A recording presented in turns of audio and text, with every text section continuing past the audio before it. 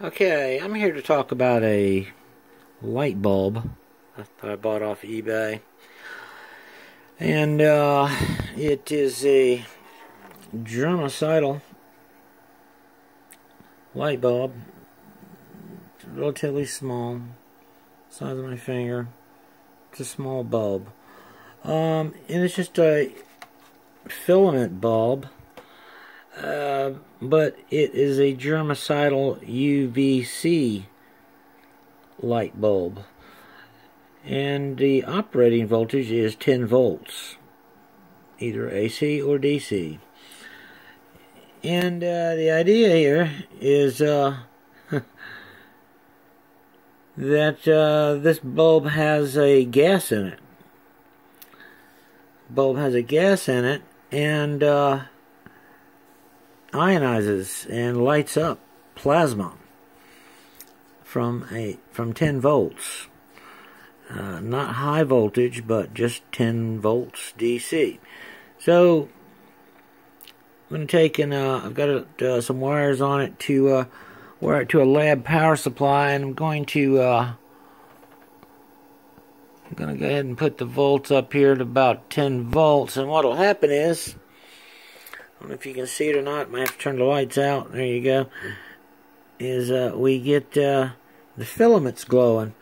if I turn the voltage up just a little bit more, uh, to say a 10.9 maybe, 11 volts, what's going to happen is it's going to start to glow. Give it just a second. It's kind of tricky. This bulb, uh, how it lights up is a mystery to me. How plasma can light up with 10 volts is beyond me. I mean, neon takes like 90 volts. Uh, now I've got like a, uh, a resistor across it, sort of current limiting. See if I can, oh, let me turn it just a little bit here. Turn it turn the resistance uh, just a little bit to uh, shunt across it. And uh, let's see. What, whoop, there it goes. Get it to fire. Now I've actually got it to fire at 9.9 volts and 0.32 of an amp. So that's uh, 0.3 amps at 9.8 volts and wow, I mean, there you go, man. The gas is just, uh, it's amazing the light that this, uh, that this thing is producing from the gas. Uh, how it does that is, is just, I just don't know. And I can turn the voltage up just ever so slightly. And, uh, and it let's see, well I've got it, uh, I've got the current limited here, ever so slightly, like, wow, man, it's just like, woo, it's amazing how bright this thing gets, look at that, and that's at 10 volts, at 0.7 amps, isn't that something else, it's just fascinating. Uh, and I can turn the voltage on down to a threshold here.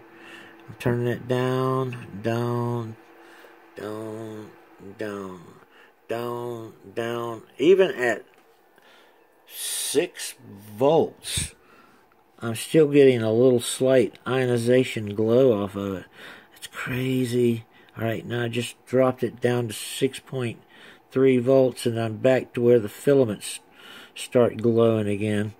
There's like a uh, threshold. I can turn this up. Start just increase it, increase it, increase it, increase it, increase it. Pretty soon it's just gonna fire on its own there. No set. Nope, there it goes. Wow. 10 volts exactly at 0.61. Ah, I just thought you would think that was uh, fascinating as I do, that is just incredible how that gas lights up without high voltage. There's not even electrodes. I don't understand how it does it. Crazy. Beautiful light. Beautiful light. It's a germicidal light, and it will burn your eyeballs if you look directly into it. I'm, I'm being blocked by the phone here. But uh, this sterilizes stuff. Um, like go in air conditioners and some refrigerators. Uh, it kills it within minutes, uh, all the germs and stuff that the light illuminates. And uh, maybe they can use this type of light to uh, fight the uh, coronavirus. Uh, my suggestion is they pump this light into the lungs with fiber optics, and uh, being it does kill all the viruses and germs and bacteria, and this may be the holy grail, this frequency of light. Uh, now I have uh, other uh, germicidal lamps. They look like fluorescent tubes and they do require a ballast.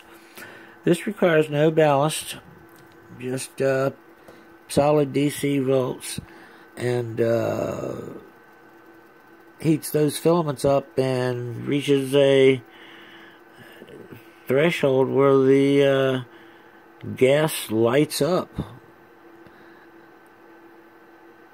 somebody could explain that to me. I just don't understand how plasma can be lit up with like 9 or 10 volts. It seems impossible. Uh, it is a very fascinating lamp here. Okay, guys, thanks for watching.